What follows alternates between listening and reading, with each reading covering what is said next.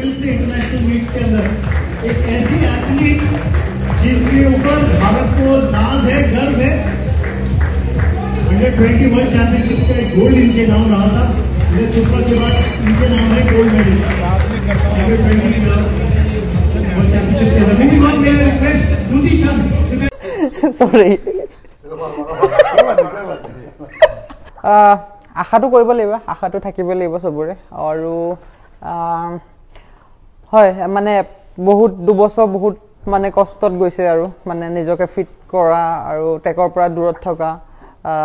চ' আকৌ কাম বেক কৰিছোঁ। খুব ভাল অনুভৱ এণ্ড ত্ৰিবান্দামত ট্ৰেইনিং চলি আছে। তাৰ আগতে টুৰ্কিৰ পৰা ট্ৰেইনিং কৰি আহিলোঁ আৰু এতিয়া আজি অপেনিং চেৰিমনি হৈ গ'ল কিট চেৰিমনি হৈ গ'ল।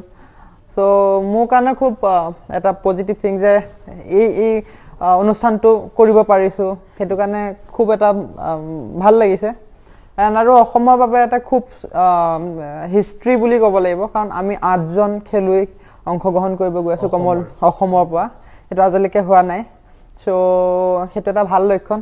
মই আগতে কৈছিলোঁ যে এদিন এটা দিন আহিব। আমি অসমে দহজন পোন্ধৰজন এনেকৈ আমি মেডেল ল'ম।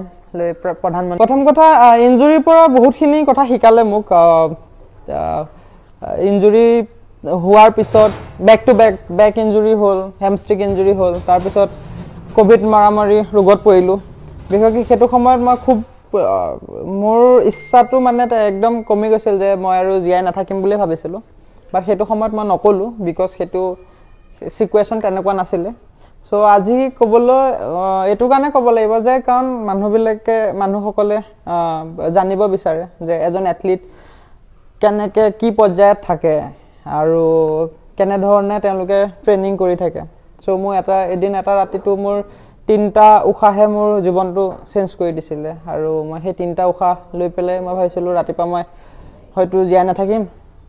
আৰু সেইকাৰণে মই চব দৰ্জাবিলাক খুলি থৈ দিছোঁ যাতে মোক নহয় মোক যাতে ৰাতিপুৱা যদি মই কিবা এটা হৈও যাতে কোনো emotion moment and emotion day আছিলে। আৰু সেইটো মই ঘৰতো কোৱা নাই কাকো কোৱা নাই। এইটো মই পাটিয়ালাত আছিলোঁ পাটিয়ালাত থাকোঁতে। চ' অঁ সেইবিলাক হৈ যায়। আৰু এই সময়খিনিত মানুহবিলাককো চিনি পোৱা যায়।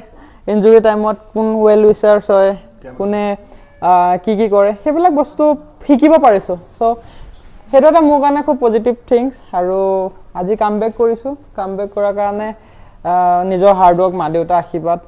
আৰু মোৰ লগত যিসকল লাগি আছে কোনোবাই ভোকে কিবা কৰে কৰি থাকক মই সেইটো কেয়াৰ নকৰোঁ। কাৰণ মই জানো মই কি কৰি আছোঁ আৰু আজি সাত বছৰ হ'ল ঘৰৰ পৰা ওলাই বাহিৰৰ জগতখনত মানে ঘূৰি ফুৰা।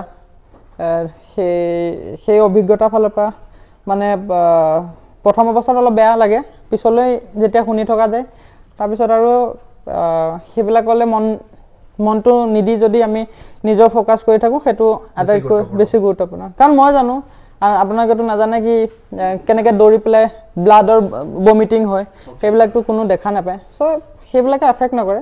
বাট অঁ ঘৰৰ ফেমিলিখিনি অকণমান অলপ মানে তেওঁলোকে মনত দুখ কৰে কাৰণ তেওঁলোকেও নাজানে ইমানখিনি। বাট মোৰ দেউতা দেউতা ফুটবল প্লেয়াৰ তেওঁ জানে।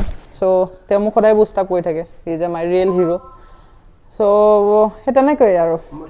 সদায় বিচাৰে সকলোৱে বিচাৰে আৰু সেই থটছটো লৈ পেলাই গৈছোঁ।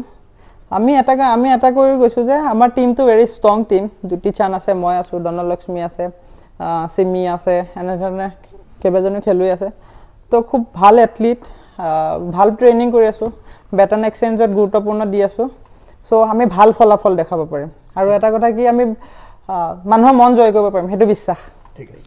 ছ'চিয়েল মিডিয়া এটা ভাল প্লেটফৰ্ম চাওক আমি ঔষধ ঔষধ এটা লিমিটত খাব লাগে হয়নে ঔষধটো লিমিটত খালে ভাল বেমাৰটো ভাল কৰে যদি আমি বেছি খাই দিওঁ বডিত এফেক্ট কৰে। চ' তেনেকুৱা। কিন্তু আজিকালি অসমত বহুত বেছি ছ'চিয়েল ইউজাৰ হৈ গৈছে। চ' মই ভাবোঁ অকণমান দূৰত থাকি কেনে নিজক সময় দিয়কচোন অলপ। নিজে যদি নিজক জিলিকাওক তেতিয়া আমাৰ অসমখন এনেই আগবাঢ়ি যাব।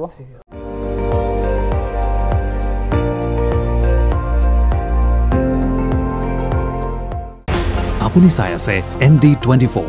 সৰ্বশ্ৰেষ্ঠ নহয় সৰ্বোত্তমৰ দৌৰ